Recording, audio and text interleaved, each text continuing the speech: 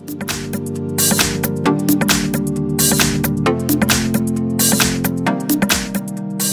everyone, today in front of me I have Honor Magic 4 Pro smartphone and in this video we would like to show how you can find your mobile phone number on this device.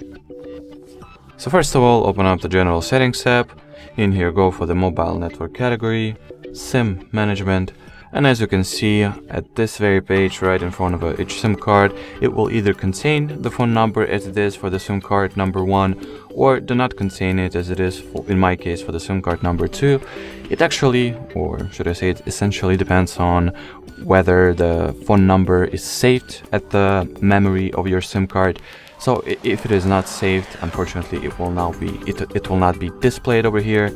But you can still, if you know the phone number and you want to edit, simply go to the well dedicated SIM card settings and enter the phone number right here, right in this field.